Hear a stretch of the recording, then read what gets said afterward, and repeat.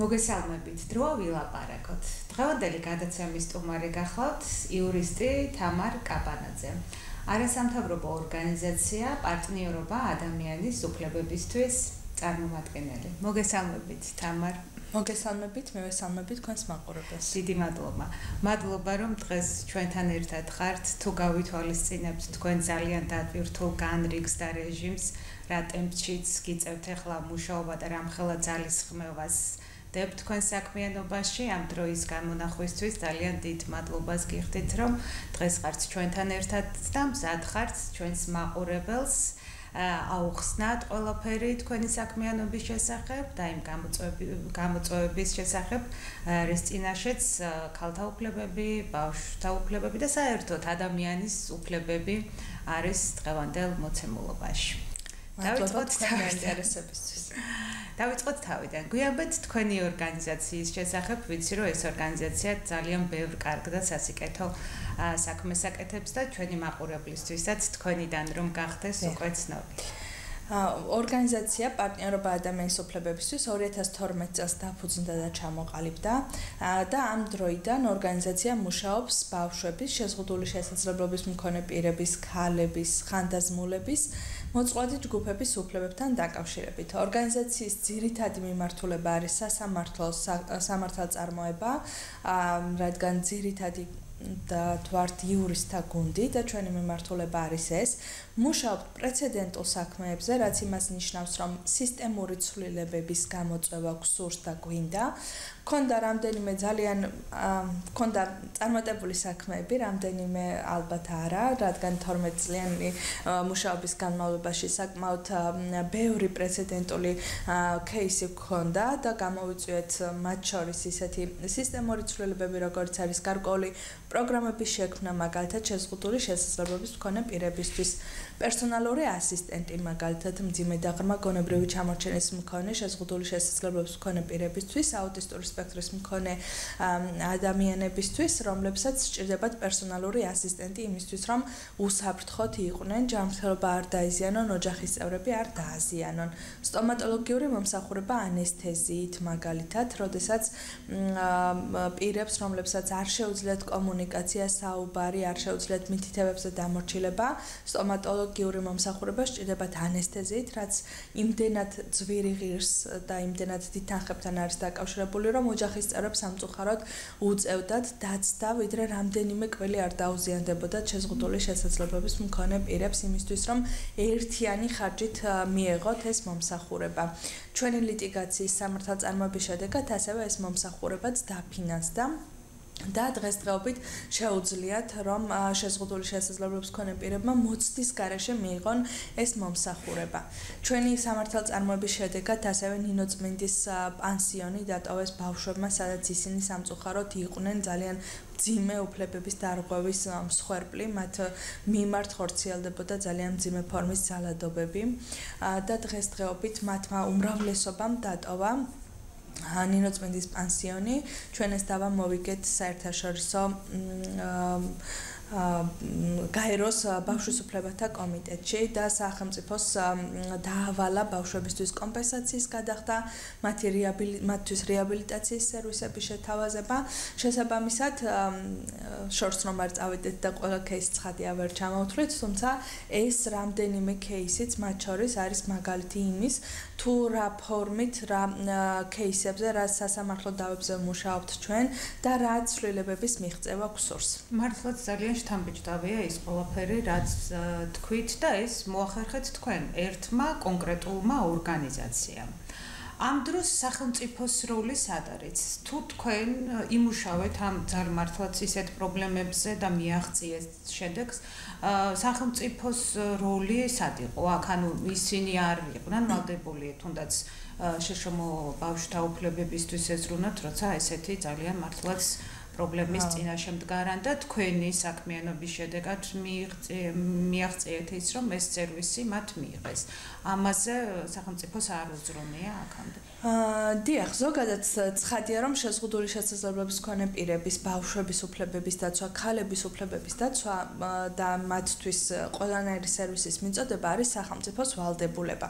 სახელმწიფო ძალიან ხშირად ამბობს ხოლმე, რომ გარკვეულ სერვისებს, სასამართლო პროცესებზე, მაგალითად, სხვადასხვა შეხვედრებზე, მათი არგუმენტი ყოველთვის არის ის, რომ სახელმწიფო საქართველოს არ არის იმდენად მდიდარი ქვეყანა, რომ მაგალითად ერთბაშად, ერთდროულად უზრუნველყოს ყველა სერვისის მიწოდება. თუმცა თუმცა ძალიან მნიშვნელოვანი სასამართლო დავის მოგების დროს სასამართლო თქვა რომ აი ეს არგუმენტი არ არის მაგალითად რელევანტური არ არის გასაზიარებელი იმიტომ რომ ჩვენ გვესმის რომ შეზღუდული შესაძლებლობის მქონე პირებს ახლა ამ მომენტში სჭირდებათ ეს სერვისი და ეს მომსახურება. სამწუხაროდ ჩვენ მქონდა ძალიან მძიმე кейსები, როდესაც მაგალითად ბავშვები იმდენად აზიანებდნენ ოჯახის წევრებს, რომ მათ უწევდათ სქელი ქურთუკის ჩაცმა იმისთვის, რომ აი რაღაც დაზიანება მინიმუმამდე შეემცირებიათ ოჯახის წევრებს და როდესაც სახელმწიფო ამბობს, რომ მოდესმე ეს მომსახურება იქნება, სამწუხაროდ ძალიან ძიმეთ სათქმელი და მოსასმენია ეს, თუმცა ამ ბავშვებისთვის ეს ოდესმე და რაღაც გარკვეული დროის შემდეგ ნიშნავს, რომ ამ ამ დროისთვის ეს ადამიანები შეიძლება თავს იმ დონეზე იზიანებდნენ, რომ მათ სიცოცხლესაც კი საფრთხე შეექმნას. სამწუხაროდ ბავშვებს მხოლოდ იმიტომ, რომ შესაბამისი სერვისი არ არის, უწევთ ფსიქიატრიულ დაწესებულებაში ყოფნა და მათ მათი დიაგნოზი, მათი ჯანმრთელობის მდგომარეობა არ ითვალისწინებს იმას, რომ ფსიქიატრიულში უნდა იყვნენ. ისეთი მედიკამენტების მიღება უწევთ, რაც მათ მდგომარეობას არ აუმჯობესებს, მხოლოდ აჩერებს რაღაც პერიოდის განმავლობაში, თიშავს მათ და მეორე უკვე ეს დოზაც უკვე აღარ არის ხოლმე საკმარისი. შესაბამისად, ცხადია, რომ აღნიშნული ვალდებულებები მათ მიმართ აქვს სახელმწიფოს და ცხადია, რომ სახელმწიფო ეფექტურად უნდა მუშაობდეს მათი უფლებების დასაცავად. თუმცა სხვა ქვეყნებშიც არასამთავრობო ორგანიზაციები არსებობს იმისთვის, რომ გარკვეულწილად ერთად იმუშაონ ადამიანების უფლებების დასაცავად. ხომ სასამართლო არსებობს იმისთვის, რომ ის რასაც სახელმწიფო თავისინებით არ აკეთებს, არასამთავრობო ორგანიზაციამ იურისტებმა მიაღწიონ სასამართლოს გზით. აქ ცხადია გეთანხმებით იმაში, რომ სახელმწიფოს დავები არ უნდა სჭირდებოდეს და განუსაზღვრელი ვადით არ უნდა დებდეს იმ სერვისების შექმნას, რაც სასიცოცხლოდ მნიშვნელოვანია შეზღუდული შესაძლებლობის მქონე პირებისთვის, თუმცა მეორე საკითხი და ალბათ ამითაც მადლობელი ვიქნებოდეთ, რომ არ ხდებოდეს ხელშეშლა, არ ხდებოდეს პრობლემების ხელოვნურად შექმნა ბავშვების ბავშვების შეზღუდული შესაძლებლობის მქონე პირების უფლება დამცველებისთვის, ქალების უფლება დამცველებისთვის, იმისთვის, რომ რეალურად ერთი მიზანი რაც უნდა გქონდეს სახელმწიფოს და არასამთავრობო ორგანიზაციებს ამ მიზნის მიღწევა მოხერხდეს. ცხადია რომ ჩვენი მიზანი არ არის მხოლოდ სასამართლო დავები, ხო? არ არის სტატისტიკის წარმოება, რომ აი რაღაც კიდევ ერთი დავა მოვიგეთ. ჩვენ დიდ სურათში და ზოგადად ჩვენი მიზანი არის ის, რომ ბავშვები იყვნენ დაცულები. მაგალითად, რა თქმა უნდა, ძალიან ბედნიერები ვიქნებოდით, რომ სკოლაში არ ხდებოდეს სექსუალური შევიწროება და ამაზე დავა არ გჭირდებოდეს. ან ბავშვები ოჯახში ძალადობის მსხვერპლი არ იყვნენ. განსაკუთრებით სექსუალური ძალადობის მსხვერპლი არ იყვნენ შეზღუდული შესაძლებლობის მქონე ბავშვები, ხომ?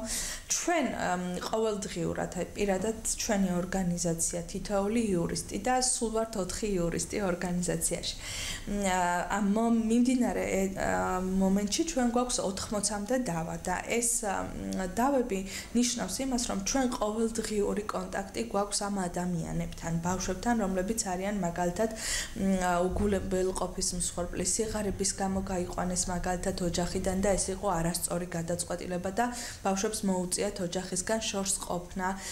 ისე რომ სახელმწიფო სხვაგვარი გადაწყვეტილება უნდა მიეღო, რაც მათ შორის სასამართლოსგან დადგენილია, რომ ნამდვილად სააგენტოს ეს გადაწყვეტილება იყო არასწორი.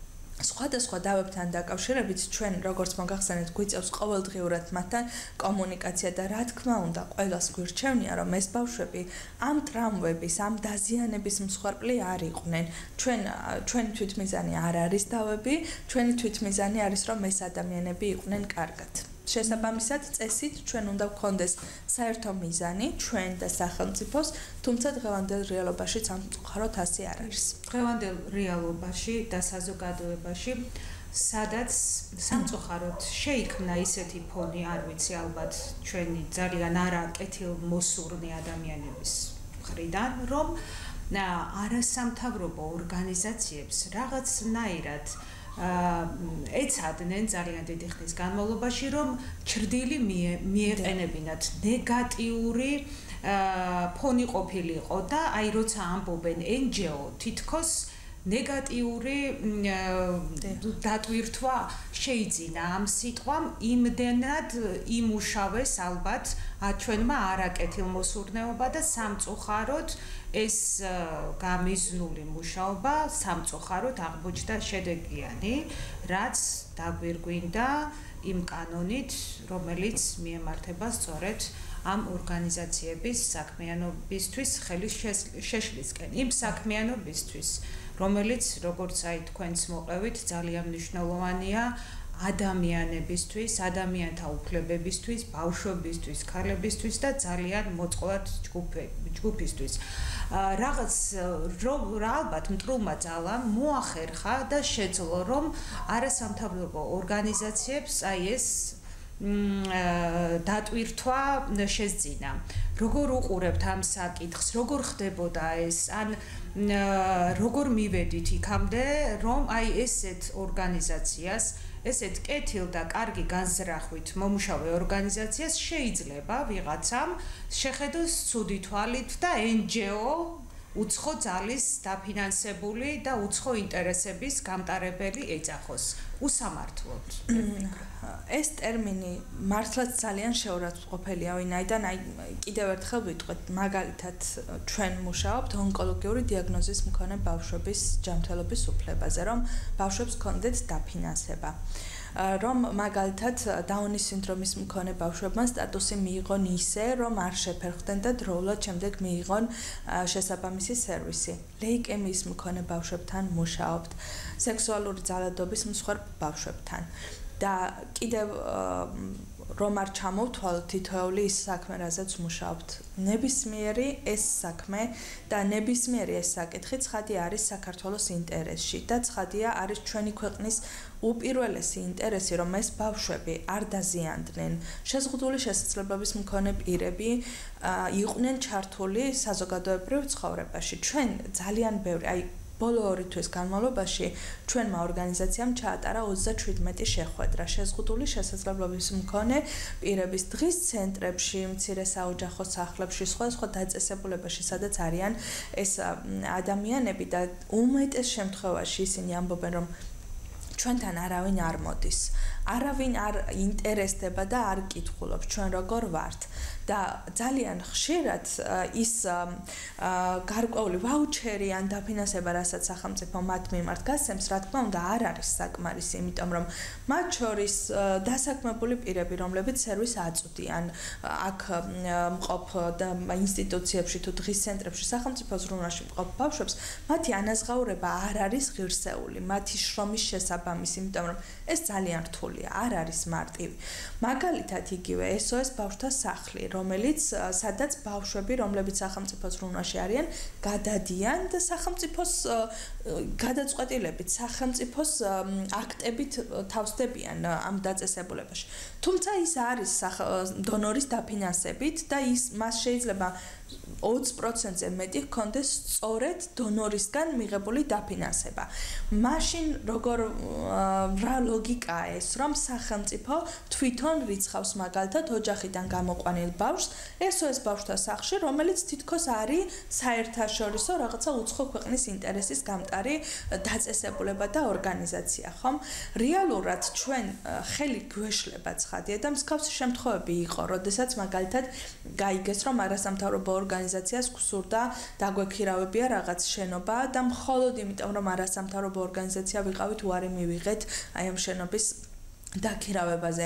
როდესაც ჩარჩანეს კანონი მიიღეს და პროცესზე თქვეს, რომ ადვოკატმა, მოწინააღმდეგე მხარის ადვოკატმა სწორედ ჩვენ მდგომარეობაში ჩაგვიწერა, რომ ეს ბავშვები, რომლებიც სექსუალურ შევიწროებაზე საუბრობდნენ, სინამდვილეში სექსუალური შევიწროების მსხვერპლი კი არ იყვნენ. აი ჩვენი რაღაცა ფარული ზრახვების მქონე ორგანიზაციის წახალისებული იყო და ვცდილობდით, რომ ან სტატისტიკა შეგვექნა, ან რაღაც პრობლემები წარმოგვეშვა, ეს ხშირად ჩვენ გვესმის და ამას პროცესების დროს ძალიან ხშირად ვისმენდით, მაგრამ როდესაც ეს არის სახელმწიფოს მხრიდან დაკანონებული, როდესაც უკვე ახალისებული არის ის, რომ ადამიანები, რომლებიც ეხმარებიან ისეთ ჯგუფს, რომლის ხმაც სახელმწიფოს ჩვენი დახმარების გარეშე სამწუხაროდ არ ესმის, ძალიან დიდი ხნის განმავლობაში ონკოლოგიური დიაგნოზის მქონე ბავშვები, მშობლები ითხოვდნენ დაფინანსებას, ითხოვდნენ ნორმალურ სამკურნალო პირობებს. და იაშვილის კლინიკაში მაგალითად შესაბამის ქიმიას ვერ უკეთებენ, იმიტომ რომ იქ ელემენტარული ჰიგიენა არ არის დაცული. მაგალითად, ოზურგეთში ბავშვს რომ ჰქონოდა გარკვეული დიაგნოზი, მისი მკურნალობა ონკოლოგიური დიაგნოზი, მისი მკურნალობა შესაძლებელი იყო მხოლოდ იაშვილის კლინიკაში და მათ ოჯახებს უწევდათ რომ გაეყიდათ ყველაფერი და ყოფილიყვნენ თბილისში, იმიტომ რომ ხანგრძლივი მკურნალობა, იმიტომ რომ ვერივლი და გეოგრაფიული მისაწვდომობა დაცული არ არის. ოზურგეთთან ახლოს ან კახეთთან ახლოს არ არის სხვა დაწესებულება საავადმყოფო ჰოსპიტალი, სადაც იმკურნალებს. და ჩვენ ვეცადეთ, რომ ეს ხმა ამ შობლების, ამ ბავშვების ხმა მიგვეტანა სახელმწიფომდე. მიგვეტანა სახელმწიფომდე იმ ბავშვის ხმა, რომელიც სამწუხაროდ სახლში, საკუთარ ოჯახში ხდებოდა სექსუალური ძალადობის მსხვერპლი წლების განმავლობაში. მივიტანოთ სახელმწიფოსთან იმ ბავშვების ხმა, რომლებიც წამლებს სვავენ, იმიტომ რომ ვეღარ უძლებენ, როდესაც ბავშვობის ასაკში იძულებით დააქორწინეს და აი დააოჯახეს და იქ არიან ძალადობის მსხვერპლი. და ჩვენ როდესაც ამ დავებზე მუშაობთ, ცხადია რომ ვერავის ინტერესი ეს ვერ იქნება გარდა აი ამ ბავშვებისა და გარდა საქართველოს, იმიტომ რომ შვედეთში ამ პრობლემებზე როდესაც ისმენენ, როდესაც ისმენენ, რომ მაგალითად შეიძლება 12 წლის ბავშვი 3 წლის განმავლობაში სექსუალური ძალადობის მსხვერპლი იყო. მასთან სააგენტო მუშაობდა, სკოლაში დადიოდა და ეს 3 წლის განმავლობაში ვერავინ ვერ დაიდენტიფიცირა. შვედეთში ეს პრობლემები არის მინიმუმამდე დაყვანილი. ჩვენ 2022 წლიდან პირადად მე და ჩემი კოლეგები ამ კონკრეტული ბავშვის დავაზე და ამ კონკრეტული ბავშვის დასახმარებლად მუშაობთ 2022 წლიდან შვედების დახმარებით, შვედების დაფინანსებით. ვინ იქნება უკეთესად და ვინ იქნება კარგად თუ ეს ბავშვი ამ ტრავმას არ გადაიტანდა, იმიტომ რომ როგორ წარმოგიდგენიათ, რამდენი ხნის განმავლობაში უნდა მეიყოს მან ფსიქოლოგიური მომსახურება, რომ ეს ტრავმა დაავიწყდეს. გუშინაც ეს ბავშვი მეუბნოდა, რომ ნატრობს და შურს, როდესაც ხედავს ბავშვებს, რომლებიც იცინიან. და რომლებიც მხიარულად არიან. და იმ შემთხვევაში თუ კი აღარ იქნებიან არასამთავრობო ორგანიზაციები, ეს ბავშვები დარჩებიან ერთადერთი იმედის, ერთადერთი ხსნის გარეშე, იმიტომ რომ სამწუხაროდ ამის თქმა მიწევს მუშაობდა მათთან სახელმწიფო, მაგრამ სამი წლის განმავლობაში ამის იდენტიფიცირება ვერ მოხერხდა. ძალიან ძიმე მოსასმენია და მართლა ძალიან ძიმე სიტყვები თქვით. არ მართლაც ისეთი ფონია შექმნილი, რომ ყველა მე მგონი, ყველა ვნატრობთ გაღიმებულ ადამიანებს და გაღიმებულ სიცილს მართლაც სასიხარულო ამბებს, თუნდაც ტელევიზიით ყოველდღიურად რამდენი ცუდი ამბავი გვესმის და სტატისტიკა გვეუბნება, რომ არასრულწლოვანთა ორსულობა მომრავლდა რეგიონებში ამ ხრივ ძალიან მძიმე მდგომარეობა, რომ არასრულწლოვანი ბავშვები ბავშვებს აჩენენ, ხომ ხომ ამას საინფორმაციო საშუალებებით ვიგებთ და ეს ხო ნამდვილი ამბავია და მით უმეტეს თქვენ როცა უშუალოდ ეხებით ამ პრობლემებს და კონკრეტულად იცით და კონკრეტულად მუშაობთ ამ საკითხებზე, როგორც თქვით 80 დავა მიმდინარეობს და ეს ძალიან დიდი ციფრია. აა ასე უკაცრია. აი ორსულობასთან და აბორტთან დაკავშირებით, რაც თქვენ ახსენეთ, ბოლო სტატისტიკა, რომელიც ჩვენ გამოვითხოვეთ, რამდენიმე წლის სტატისტიკა, ეს არ არის დიდი, აი 2018-დან 23 წლამდე 3000-ზე მეტმა არასრულწლოვანმა გააჩინა ბავშვი, 3000-ზე მეტი არასრულწლოვნის ორსულობა არის რეგისტრირებული და 500-ზე მეტი აბორტი. სამწუხაროდ ეს არის ძალიან ძალიან მაღალი მაჩვენებელი. და როდესაც მაგალითად ჩვენ ვითხოვთ, რომ ეს ბავშვები აი ამ ინფორმაციის მიწოდებით უნდა დავიცვათ და ამ ბავშვებს უნდა მივცეთ ცოდნა შესაბამისი. აა სამწუხაროდ არც განათლების სამინისტრო და არც სასამართლო ამ მსჯელობაში ჩვენ არ მოგვყვება. აი ზუსტად გუშინ ჩავიბარეთ მაგალითად ყოვლისმომცველ სექსუალურ განათლებაზე გადაწყვეტილება, სადაც აი 17 გვერდიდან 16 გვერდი დასაბუთება იყო მხოლოდ აი რაღაც კანონები, კონვენციიდან მუხლები, არსად არ იყო ნახსენები არც ერთი ბავშვი და არც ერთი ბავშვის უსაფრთხოება მათი ჯანმრთელობის დაცვა. ეს გადაწყვეტილება ძალიან სამწუხარო გადაწყვეტილება. ცხადია ჩვენ მას გავასაჩივრებთ, თუმცა სამწუხაროა, როდესაც სასამართლოს ეუბნები, რომ ჩვენ ეს განათლება გვჭირდება იმისთვის, რომ არასრულწლოვნები დავიცვათ. დავიცვათ არასასურველი ადრეული ორსულობისგან. არასასურველი და არავისთვის არ არის სასურველი, ხო? აბორტი მიუხედავად იმისა, რომ ეს ქალის უფლებაა და ამ ნაწილზე არ ვდაობთ, არასრულწლოვანს არ უნდა უხდებოდეს აბორტის გაკეთება, ხო? მას უნდა კონდეს შესაბამისი ცოდნა ყველა იმ საკითხთან დაკავშირებით, რაც მას დაიცავს სექსუალური ძალადობისგან, არასასურველი ორსულობისგან, ბავშვების ასაკში დაქორწინებისგან. ადამიანებს უნდა კონდეთ ცოდნა, რომ როდეს როდესაც რაღაც ხდება, მათ დაიდენტიფიცირონ, რომ გასაგებია რაღაც მე შეიძლება არ მსიამოვნებს. არ მომწონს რომ ვიღაც მეხება, მაგრამ ამას სახელი უნდა დავარქვა. და ის რომ ძალიან ბევრი ბავშვი სამწუხაროდ ძალიან პატარა ასაკიდან 5 წლის ასაკიდან 3 წლის ასაკიდან ჩვენ ასეთი кейსებიც გვაქვს, როდესაც ბავშვი 3 წლიდან 5 წლიდან იყო სექსუალური ძალადობის მსხვერპლი ოჯახში. და მიუხედავად იმისა რომ ეს ბავშვი ხვდებოდა რომ რაღაც ისეთი იყო რა მის თავს რაც მას არსი ამოვნებდა, მან არ იცოდა ამისთვის რა სახელი უნდა დაერქმია, ვისთვის უნდა მიემართა და სწორედ ამას გულისხმობთ, როდესაც ვამბობთ, რომ უნდა იყოს სექსუალური განათლება დანერგილი, რომ როდესაც ის ისწავლის, რომ ეს დანაშაულია, რომ როგორც მოძალადი აშინებს, თითქოს მან გამოიწვია, თითქოს მისი ბრალია, რომ რაღაც მის თავს ხდება, როდესაც სექსუალური განათლების საგანში ისწავლის, რომ არა, სინამდვილეში დანაშაულის არის, რასაც ეს მოძალადი აკეთებს, ამ ბავშვებს ბევრად ადრე შეეძლებათ, რომ ამაზე ისაუბრონ, შეეძლებათ, რომ დაუკავშირდნენ სამართალდამცავ ორგანოებს მაგალითად და ეს ტანჯვა რისი გადატანაც მათ უწევთ, ადრეულ ეტაპზე შეწყდება და შემცირდება. ეს არის ის, რასაც ჩვენ ვითხოვთ ხოლმე სასამართლოში, ვითხოვთ სხვადასხვა შეხვედრების დროს და სამწუხაროდ სასამართლომ ეს მსჯელობა ვერ გაიზიარა, სრულიად ნოლი მგრძნობელობა გამოიჩინა იმ ბავშვების მიმართ, ვისაც ჩვენ ვესაუბრებოდით სასამართლო პროცესებზე. დიახ, სწორედაც სექსუალური განათლებაც ჩვენთან აღიქმება ნეგატიური კუთხით. როცა სინამდვილეში ეს ბავშვების დასაცავად მიმართული განათლებაა. იმ მისკენ მიმართული განათლებაა, რომ აი ავირიდოთ თავიდან ესეთი მძიმე შემთხვევები, სექსუალური ძალადობა და ყველაფერი ის რის წინაშეც აღმოჩნდება ხოლმე აი ამ დროს ადამიანი. მათი თავდაცვისკენ მიმართულია ეს განათლება და არა იმისკენ რა როგორც საზოგადოებაში რატომ არ ხდება ამ არგუმენტის გააბათილება ალბათ არ ვიცი არასწორი მიმართულებით მიდ რატომ ვერ მოხდა საზოგადოების დარწმუნება რომ ეს მათივე შვილების უსაფრთხოებისთვის მიმართულია.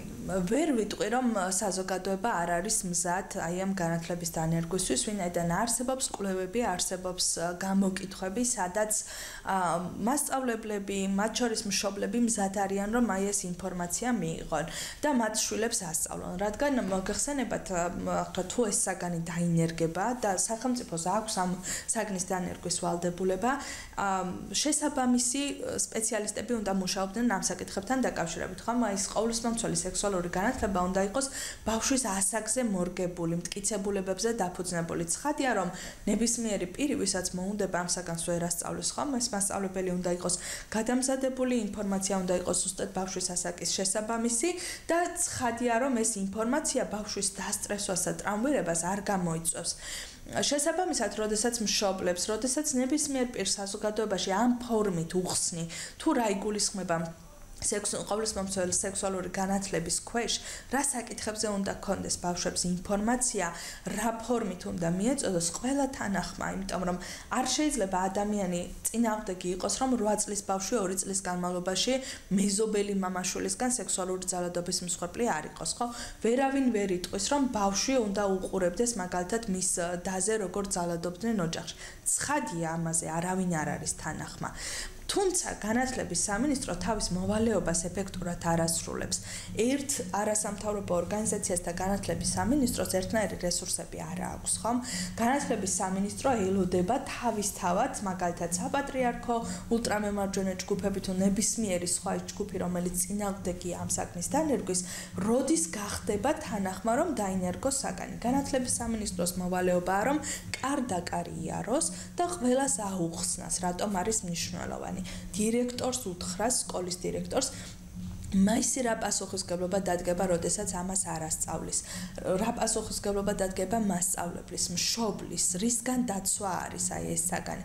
მაგრამ როდესაც ამას არ აკეთებს და ხედავთ ტელევიზიებში ტარდება ძალიან ზედაპირული პროცესის დამაზიანებელი გამოკითხვები ქუჩებში, ცხადია რომ ეს მხოლოდ აუარესებს მდგომარეობას, თუმცა კიდევ ერთხელ ვიტყვი რომ ეს არ არის რეალური სურათი, იმიტომ რომ არსებობს კვლევები, როდესაც შესაბამის პირებს, ვისაც ამ საკითხთან დაკავშირებით ვისი აზრით მნიშვნელოვანია, კარგად საფუძვლიანად, როდესაც აუხსნეს თუ რა იგულისხმება ამ საკნის უკან, ისინი მზად იყვნენ და თანახმა იყვნენ, რომ ეს საგანი დანერგილიყო.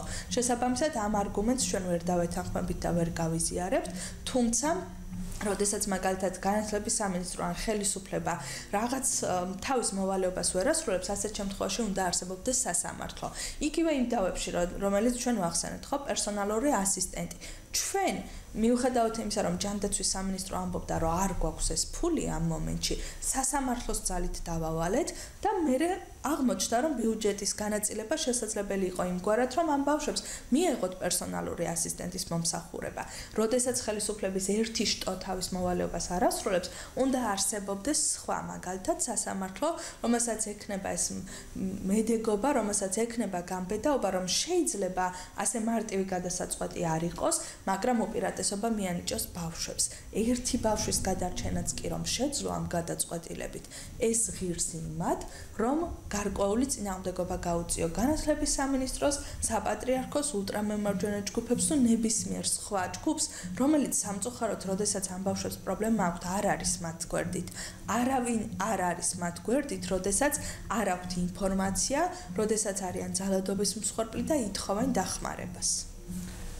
ნამდვილად ეგრეა სამწუხაროდ ჩვენ ვერ ვხედავთ აა თანაგრძნობას და თანადგომას, როდესაც ადამიანის ადამიანების მოწყვლად ჯგუფებს უჭერთ და პირიქით ხანდახან ისეც ხდება ხოლმე, რომ პირიქით ისინი ხდებიან აქეთ აგრესიის მსხვერპლი, თუნდაც ძალადობის მსხვერპლი ქალები ხშირ შემთხვევაში ისე წარმოჩინდება, რომ მათი ბრალეულობა თითქოს არის იმაში, რომ ძალადობის მსხვერპლი გახდნენ. რაღაცნაირი ესეთი დამოკიდებულებაა და ამ მიმართულებითაც რომ განმარტოთ და ვთქვათ ქალები რა პრობლემების წინაშე დგანან ჩვენ ქვეყანაში და რა სირთულეები აქვთ მათ აი ამ გზაზე როცა არიან ძალადობის მსხვერპლი, სექსუალური შევიწროების მსხვერპლი და ასე შემდეგ. ზოგადად აი ამ განსაკუთრებით სექსუალური ძალადობის თუ სექსუალური შევიწროების მიმართ არსებობს стереოტიპები. საზოგადოება ამ ეტაპისთვის მაინც კიდევ სამწუხაროდ არ არის იმდენად მზად, რომ როდესაც მაგალითად ადამიანი შეიძლება იყოს სექსუალური ძალადობის ან სექსუალური შევიწროების მსხვერპლი, მას მხარი დაუჭიროს. აი ეს არის რაღაც გარკვეული სურათი იდეალური მსხვერპლის, რომელიც საზოგადოებას ჯერ კიდევ წარმოდგენილი აქვს და თუ კი ამ სურათს არ შეესაბამები, ამ წარმოქმნას არ არ შეესაბამები ასეთ შემთხვევაში ვერ იღებ იმ თანაგრძნობას. ხშირ შემთხვევაში მოდით ასე ვთქვათ და არა მაგალითად ყოველთვის. თუმცა ქალებს როგორც ვთქვით აკლიათ ცოდნა და ინფორმაცია. ძალიან სერიოზული გამოწვევები არის სამართალდამცავ ორგანოებში განსაკუთრებით დაუწყებებში განსაკუთრებით თუ კი მაგალითად ოჯახურ ძალადობასთან დაკავშირებით მიუხედავად ფემიციდის ასეთი მაღალი მაჩვენებლისა როდესაც ადამიანები თუ ადვოკატების garaშე ქალები როდესაც ადვოკატების garaშე მიდიან სამართალდამცავ უწყებებში და ამბობენ მათი პრობლემების შესახებ სამწუხაროდ ისე ხშირად ხდება, რომ ისინი ცდილობენ რომ გადააფიქრებინონ, შეაცვლებინონ აზრი, არ დაიწყოს გამოძიება და მეორე ძალიან სერიოზული პრობლემა რაც არის, არის გაწელილი, გაჭიანურებული მართლმსაჯულება, იმიტომ რომ ამ ადამიანებისთვის მართლმსაჯულება შეიძლება იმდენად გვიან განხორციელდეს იმდენად გვიან დადგეს შედეგი, რომ ამდენი ხნის განმავლობაში მათ ბრძოლა აღარ შეეძლოთ, აღარ ქონდეთ რესურსები, განსაკუთრებით როდესაც მაგალითად აქეთ მხარეს არის შვილი, არის ოჯახის წევრები, მათ ჭირდებათ ფინანსური გაძლიერება, მხარდაჭერა,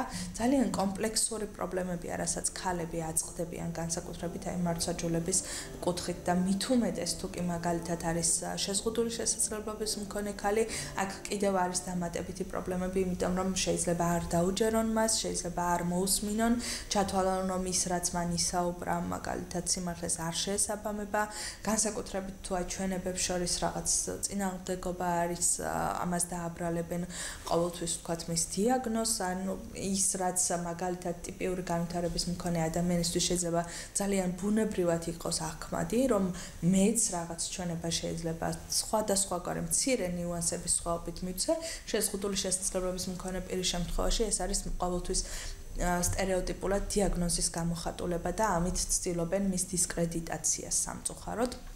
განსაკუთრებით თუ კი ადამიანები გარკვეულ დაწესებულებაში არიან პანსიონატებში ფსიქიატრიულ დაწესებულებაში თუ კი ადამიანებს არ აქვთ ასე მარტივად ცდომა ადვოკატზე ეს განსაკუთრებით ართულებს და ამძიმებს მათ მდგომარეობას. და ეს საერთოდ ძალიან დიდი განხილვის საკითხია სამწუხაროდ ფსიქიკური დიაგნოზის მქონე ადამიანები რომლებიც არიან ფსიქიატრიულ დაწესებულებებში რამდენად იზღუდება და ილაღება მათი უფლებები იმიტომ რომ არ გვაქვს მოწესრიგებული სისტემა სისტემა და სამწუხაროდ ესეც უნდა ვთქვათ, რომ სასამართლოს ისეთ დონეზე არ ესმის ეს საკითხი, ვერ გებულობს და ვერ წევს იმ სტანდარტებს, როგორც ვთქვათ, საერთაშორისო ხელშეკრულებებით, კონვენციებით გვაქვს ნაკისრი და როგორც უნდა იცავდნენ შეზღუდული შესაძლებლობების მქონე პირების უფლებებს. ერთი საკმაოდ დამაფიქრებელი რამ თქვით თქვენ როცა ხალი მიმართავს ადვოკატის გარეშე სამართალდამცავ უწყებებს ხშირ შემთხვევაში ცდილობენ რომ გადააფიქრებინონ ხო აი ადვოკატის garaშე რა ხდება როცა ადვოკატით მიმართავს მაგალითად? უფრო დაცულია ხო ამ შემთხვევაში თავის თავაცადია ადვოკატის მომსახურება ჩვენ ვიცით რომ ხელა ხარჯებთან არის დაკავშირებული და ძალიან ბევრ ოჯახს და ქალს საშუალება არ აქვს. სწორედ აქ მივდივართ იმასთან რომ არასამთავრობო ორგანიზაციები არიან. ის ორგანიზაციები რომელიც ასეთ გასაჭირში ჩავარდნილ ქალებს ერთი მხრივ როცა არის სხვადასხვა პრობლემის წინაშე, ძალადობის წინაშე, მეორე მხრივ არა აქვს იმის რესურსი, რომ ადვოკატის მომსახურებით ისარგებლოს და ისე მიმართოს სამართალდამცავ უწყებებს. ამ შემთხვევაშიც იკვეთება თქვენი როლი, როცა ამ მომსახურებას სრულიად უფასოდ და უსასყიდლოდ აძლევთ ადამიანებს და ეხმარებით, ხო? აი, აქაც რამხელა როლია თქვენი და როგორი მნიშვნელოვანია ამ დახმარების გაწევა, რომ რა დახმარების გარეშეც სრულიად დაუცველი და უძურია ხომ ადამიანი. პირადად ჩვენი ორგან ჩვენს ორგანიზაციას ქონდა ორი დავა სპორტში სექსუალური შევიწროების შესახებ. ერთ-ერთი დავა გრძელდებოდა 4 წლის განმავლობაში სხვადასხვა ინსტანციაში, მეორე დავა ჯერ კიდევ მიმდინარეა. და ჯამში ჩვენ ვიცავდით 15 გოგოს, მათ შორის რამდენიმე დავის განმავლობაშიც იყო არასრულწლოვანი, ხოლო ზოგიერთი სექსუალური შევიწროების დროს იყო არასრულწლოვანი. ცხადია, რომ 4 წლის განმავლობაში ამ გოგოებს და ხშირ შემთხვევაში არც ქალებს, ვისაც ჩვენ ვიცავთ, განსაკუთრებით შეზღუდული შესაძლებლობის მქონე პირებს, არ აქვთ ხოლმე შესაძლებლობა, რომ ადვოკატს გადაუხადონ თანხა, არ აქვთ შესაძლებლობა გადაიხადონ ის სახელმწიფო ბაჟი, რომელიც სასამართლოს ჯერში დავის საწარმოებლად არის საჭირო და მნიშვნელოვანი. ამიტომ ეს დახმარება მათთვის არის ხოლმე სასიცოცხლოდ მნიშვნელოვანი, იმიტომ რომ სხვა შემთხვევაში მათი უფლებების დარღვევა შეიძლება დარჩეს რეაგირების გარეშე და მიუხედავად იმისა, რომ ჩვენ ვართ იურისტები, ჩვენ გვიწევს ხოლმე მათ შორის ფსიქოლოგიური, ემოციური დახმარების გაწევა მათთვის, იმიტომ რომ 4 წლის განმავლობაში ადამიანი ყოველთვის ერთნაირი განწყობით არ არის, ერთნაირად არ შეუძლია იბრძოლოს. შეიძლება დაიღალოს, დაყაროს ფარხმალი, თქვას რომ 4 წლის შემდეგ უკვე ეს შედეგი არც ვიცი მიიღებს თუ არა. ჩვენ გვიწევს ხოლმე რომ მუდმივ კონტაქტზე ვიყოთ იმ მშობლებთან, რომლის შვილებიც მაგალითად თავს იზიანებენ და ცხადია რომ მათთან კომუნიკაცია არ არის იგივარდით მოფენილი გზა, ხო, არ არის დალხენილი მათი ცხოვრება და ჩვენ ვერ ვავლებთ ამ ზღვარს, რომ აი მე იურისტი ვარ და ამის იქეთ არ მოგისმენ. ხშირად გვიწევს ჩვენ, რომ ფსიქოლოგის, სოციალური მუშაკის როლიც რაც არასწორია, ამას. ცხადი არ ვამბობთ ასე სიამაყით, თუმცა იმის გათვალისწინებით, რომ ქვეყანაში სრულყოფილად არ მუშაობს სხვადასხვა სერვისი, ჩვენ გვიწევს ამ როლების შეთავსებაც და ამ ადამიანების გამხნევება, დამშვიდება, გაძლიერება, იმიტომ იმიტომ რომ სხვაგვარად სამართლებრივი შედეგიც არ დადგება სამწუხაროდ და თუ კი ამ ადამიანებს არ ეკნებათ წდომა არასამთავრობო არ მხოლოდ არასამთავრობო ზოგადად ანუ უფასო იურიდიული დახმარების სამსახურებზე თუ არ ეკნებათ წდომა ქალთა უფლებები, ბავშვთა უფლებები, შეზღუდული შესაძლებლობის მქონე პირთა უფლებები მათ შორის თქვათ ლგბტ თემის წარმომადგენლების უფლებებიც იქნება ძალიან ხშირად და სისტემურად დარღვეული და მათ არ ექნებათ საშუალება რომ რეაგირება მოახდინონ ამ ფაქტებზე, იმიტომ რომ როგორც ვთქვით, ეს არის ერთადერთი იმედი და ხსნა მათთვის. ჩვენ ხედავთ, რომ ერთი მხრივ ამდენი პრობლემაა. ამდენი პრობლემაა ბავშვთა უფლებების დაცვის მიმართულებით, ქალთა უფლებების დაცვის მიმართულებით. განსხვავებული ორიენტაციის მქონე უმცირესობების უფლებების მიმართულებით. პრობლემები რეალურია, რომლებზეც მუშაობთ, რომლებიც სხვადასხვა ორგანიზაციის ანგარიშებშია, რომ მოწმდება და დასტურდება მიმდინარე საქმეებით. მოკლედ, ერთი მხრივ გვაქვს ბევრი პრობლემა. მეორე მხრივ სახელმწიფო იღებს კანონს, რომელსაც ქვია ოჯახური სიწმინდისა და ბავშვთა უფლებების, ბოზართა უფლებების დაცვის შესახებ კანონი. აა რამდენად ადეკვატურია ეს კანონი იმ ყველაფრის, რაც რეალურად ხდება, რა რეალური პრობლემებიც არის და რისგან დაცვას აპირებს, ან რისგან უნდა დაიცვას ამ კანონმა აი ასეთი პრობლემების წინაშე მდგარი ოჯახებიც, ბავშვებიც, ქალებიც და აა რეალურად ეს კანონი საერთოდ ვერ პასუხობს ბავშვების ინტერესებს, ცხადია. აა 2023 წლებში 260-ზე მეტი ბავშვი იყო სექსუალური ძალადობის მსხვერპლი, რომ ვის მიმართაც აი ეს დაიწყო თქვა გამოძიება და მათ სტატუსი მიენიჭათ დაზარალებულის. ეს ციფრი ალბათ რამდენიმეზე უნდა გადავამრავლოთ, იმიტომ რომ სამწუხაროდ ხშირ შემთხვევაში ოჯახის წევრები არ უჯერებენ ბავშვებს, ზოგჯერ დიდი ხნის განმავლობაში ბავშვები თვითონ ვერ ამბობენ აი ამ თავს დამტყდარი უბედურების შესახებ, მათ მიმართ ძალადობის შესახებ. ძალიან ხშირად იმალება ეს საკითხი და პოლიციამდე სამართალდამცავ უწყებებამდე ვერ მიდის, ხომ? 260 ბავშვიც იმდენად დიდი მაღალი, იმდენად მაღალი მაჩვენებელია და დიდი რიცხვია და განსაკუთრებით თუ აი ამ მსჯელობას გავყვებით, რომ ბევრად მეტი უნდა ვიგულისხმოთ და ვივარავდოთ, ხომ? ამ ბავშვებს აქვს ძალიან რეალური პრობლემები. რეალური საფრთხეები, რაც მათ წინაშე არის. იგივე 3000-ზე მეტი მოზარდი, რომელიც ვთქვით, რომ აი ამ გარკვეული წლების განმავლობაში მათ შვილი გააჩინეს, ხომ?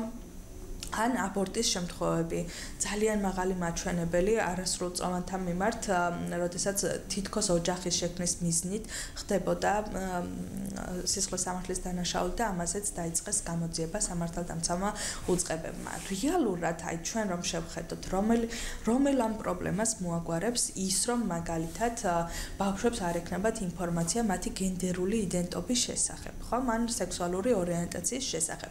ის რაც იქ წერია არის სრულიად გამოგონილი თითქოს რაღაც პრობლემებს პასუხობს სინამდვილეში სახელმწიფომ უბრალოდ დააკანონა ის რომ ის ჯგუფი რომელიც ისედაც ყველაზე მოწყვლადი იყო ყველაზე დამალული იყო ყველაზე ნაკლებად შეძლოს თავიანთ უფლებებზე საუბარი ახლა საერთოდ იმასაც კი ვეღარ იტყვიან რომ მე მაგალითად რაღაც ცემეს, იმიტომ რომ განსხვავებული სექსუალური ორიენტაცია მაქვს, განსხვავებულად აღვიქვავ ჩემს თავს.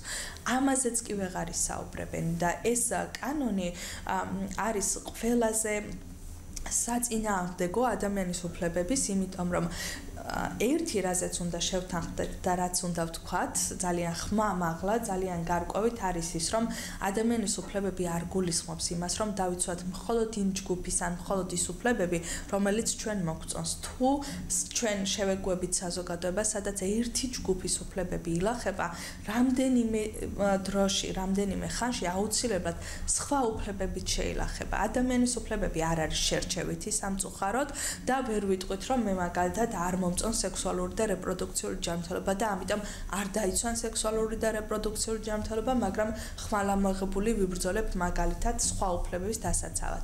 ასე არ არის. დემოკრატიულ სახელმწიფოში ყველა უფლება არის თანაბრად მნიშვნელოვანი, ყველა უფლების დაცვა უნდა იყოს ჩვენი მიზანი, იმიტომ რომ წინამდელ შემთხვევაში აუცილებლად რაღაცა მიზეზით გაამართლებენ იმ სხვა უფლების დარღვევასაც და შეზღუდვასაც, რომელსაც ჩვენ ვეთანხმებოდით და მე უკვე ჩვენ რესურსი აღარ გვ გვექნება რომ იმ უფლებების დასაცავად ვიბრძოლოთ. იმიტომ რომ როგორც თქვით, უფლებები არის თანაბარი, ყველა ადამიანი უნდა იყოს თანასწორი, მიუხედავად მათი შეზღუდული შესაძლებლობისა, მიუხედავად მათი ასაკისა, გენდერული იდენტობისა, რელიგიური რწმენისა თუ ნებისმიერი სხვა ნიშნის, ხო? მას ძალიან ბევრ კანონში, კონსტიტუციაში, საერთაშორისო ხელშეკრულებებში გვაქვს დაწერილი, რომ ჩვენ ადამიანები არ უნდა განვასხვაოთ იმის მიხედვით, მას რა სექსუალური ორიენტაცია აქვს. თავარი რისკენაც ჩვენ უნდა ვისწრაფოდეთ, უნდა იყოს ის და რისთვისაც უნდა ვიბრძოდეთ არის რომ ადამიანი უნდა იყოს უმთავრესი ღირებულება. ადამიანი და ის უნდა აღიქვას აი ასე. როგორც სრულყოფილი ადამიანი მიუხედავად იმისა, რითი განსხვავდება ის ჩვენგან, გადაწყვეტილების მიმღები პირებისაგან. და აი მაგ მარტივი ჭეშმარიტების შეცნობა ალბათ სალაპარაკოც არ უნდა იყოს, რომ ადამიანი არის ღირებული, ადამიანის უფლება და სადაო და საკამათოც აქ არაფერი არ უნდა იყოს თითქოს ერთი შეხედვით. აა ისე სწრაფად გაირბინა დრომ ჩვენთვის განკუთვნილმა ან ძალიან მნიშვნელოვან საუბარში ვეცადეთ ყველა თემა მართლა ძალიან მნიშვნელოვანია და უფრო სიღრმისეულად კარგი იქნებოდა რომ მოგვეცეს სხვა დროს შესაძლებლობა რომ უფრო სიღრმისეულად ჩავყვეთ თუნდაც ბავშვთა უფლებებს, ქალთა უფლებებს და ასე შემდეგ, მაგრამ ნუ რაც ეხლაც შევძელით და ისაუბრეთ, ვფიქრობ ძალიან ინფორმატიული იყო და ჩვენი მსმენელისთვის მართლაც განსჯის საგანი თუ მართლაც რითი შეიძლება იყოს არასამთავრობო ორგანიზაცია, რომ ეს ორგანიზაციები არ არიან ხშირ შემთხვევაში უცხო ძალების ინტერესების გამტარებელი, არამედ არიან ჩვენი ეროვნული ინტერესების გამტარებელი, ჩვენი მოქალაქეების დამცველები, ბავშვების დამცველები, ქალების დამცველები, რომლებსაც ძალიან უჭირთ თანადგომა ჭირდებათ, მხარდა ჭერას ჭირდებათ და ჩვენი ეკონომიკური, სოციალური ყოფის პირობებში ვერ ახერხებენ ფინანსურად, რომ თვითონ უზრუნველყონ ის მომსახურება იურიდიული იქნება თუ სხვა სოციალური სერვისის ფინანსური საშუალება არ აქვს და იცვან თავი, ამიტომ საჭირო ხდება სწორედ არასამთავრობო ორგანიზაციის დახმარება, რომ ამ ადამიანებმა უსასყიდლოდ მიიღონ ეს დახმარება, რომელიც ძალიან სჭირდებათ და მართლაც თქვენ ხართ ის ადამიანები, ვინც აი ამას უსასყიდლოდ აკეთებს და ეს საქმე მართლაც არის ბავშვებისთვის და ქალებისთვის, ჩვენ ქვეყანაში მცხოვრები ადამიანებისთვის ნიშნულოვანი და გადაცემის დასასრულს არ შემიძლია არ კითხოთ აი უკვე კარზე მომდგარ არჩევნებზე. აა თქვენ ვიცი და ახსენეთ კიდეც რომ ბევრი შეხვედრა გამართეთ არ შეზღუდული შესაძლებლობის მქონე პირებთან როგორ უნდა მისცენ მათ ხმა როგორ უნდა ისარგებლონ თავიანთი კონსტიტუციური უფლებით და რა პრობლემები გამოიკვეთა ამ მიმართულებით რა როგორ აძლევენ ესეთი ადამიანები ხმას და თუ არის მათი ეს უფლება სათანადოდ დაცული ჩვენ ქვეყანაში რომ ისარგებლონ თავიანთი კონსტიტუციური უფლებით და შეძლონ ქვეყნის ბედის განსაზღვრაში მონაწილეობის მიღება. დიახ, შეხ შემთხვევაში მათ არ ქონდათ ინფორმაცია რომ მათ თანაბრად სხვების თანაბრად შეუძლიათ მონაწილეობა მიიღონ არჩევნებში და ეს შეიცვალა საკონსტიტუციო სასამართლოს გადაწყვეტილებით, ვინაიდან ინტელექტუალური შეზღუდვა არ არის საფუძველი და ეს განმარტება გააკეთა სასამართლომ, რომ მიუხედავად იმისა, რომ ადამიანს შეიძლება ჰქონდეს ინტელექტუალური შეზღუდვა, მას უნდა მიეცეს შესაძლებლობა, რომ მიიღოს არჩევნებში მონაწილეობა. ერთი რაც შეზღუდული შესაძლებლობებს მქონე პირებმა უნდა იცოდნენ, არის რომ მათ შეუძლიათ ხმის მიცემა ადაპტირებულ საარჩევნო უბანზე, ანუ თუ კი მათი საცხოვრებელთან ახლოს მყოფი საარჩევნო უბანი არ არის ადაპტირებული და იგი არის ეტრეთ მოსარგებლე მას შეუძლია მოითხოვოს ადაპტირებულ უბანზე ხმის მიცემა, ასევე ინტელექტუალური შეზღუდვის მქონე ადამიანებისთვის იმ შემთხვევაში, მათ შორის თუ კი მაგალითად მან წერა კითხვა არ იცის და სჭირდება მხარდაჭერა, მას შეუძლია ყავდეს და დაეხმაროს ან მისი მხარდამჭერი ან სხვა ამომრჩეველი, ოჯახის წევრი ან სხვა ამომრჩეველი, რომელიც იქ საარჩევნო უბანზე იქნება. ეს არის მნიშვნელოვანი იმისთვის, რომ უზრუნველყოფილი იყოს მათი მონაწილეობა საარჩევნო პროცესებში და მათი საარჩევნო უფლებით უფლების რეალიზება და სარგებლობა. ასევე ძალიან მნიშვნელოვანი არის რომ გადასატანის საარჩევნო ყუთით მათ შეუძლიათ ისარგებლონ, თუმცა ამ ეტაპისთვის გადასატანის საარჩევნო ყუთით 11 დღით ადრე უნდა დაუკავშირდეთ CSGO-ს, ამ ეტაპზე ეს უკვე ვეღარ მოხერხდება, მაგრამ დიდი იმედი მაქვს რომ ყოველს ვისაც ეს სჭირდებოდა უკვე ისარგებლა და დიდი იმედი მაქვს რომ მათი ეს მონაწილეობა არჩევნებში არ დაირღვევა, ხელს არავინ არ შეუშლის, თუმცა იმ შემთხვევაში თუ რაღაცა ასეთი არ კანონიერი ფაქტი იქნება, ცხადია პარტნიორობა ადამიანის უფლებებისთვის მზად არის სამართლებრივი კონსულტაციის გასაწევად ამ კუთხით. ძალიან დიდი მადლობა თამარ მოგზანებისთვის, ამ საინტერესო საუბრისთვის. ჩვენი მაყურებლისთვის ძალიან მნიშვნელოვანი ინფორმაციის მიწოდებისთვის და მზაობისთვის, რომ ადამიანებს დაეხმაროთ, რომ ხარ იმედ ხარც იმედად, აი ესეთი ადამიანებისთვის, ვისაც დახმარება სჭირდება და ეხლაც ჩვენი ეთერის მეშვეობით დაუდასტურეთ მათ თქვენი მზაობა თუ ვინმეს უფლებები შეილახება, ეხება საქმე შშმპირებს ხო, რომლებიც რაღაცა წინააღმდეგობებს და დაბრკოლებებს წააწყდებიან, შეუძლიათ მოგმართონ და თქვენ დაიცავთ მათ უფლებებს და დააკვალიანებთ ყველაფერს გააკეთებთ იმისთვის. ეს სამართალწარმოება თუ კი საჭირო იქნება, ჩვენ ცხადია მზად ვართ, რომ სასამართლოს მივმართოთ მათი უფლებების დასაცავად. ძალიან დიდი მადლობა მობრძანებისთვის, ამ საინტერესო საუბრისთვის, საქმიანობისთვის და წარმატებას გისურვებ და ვუსურვებ წარმატებას ჩვენ ქვეყანას. ნახვამდის მომავალ შეხვედრამდე.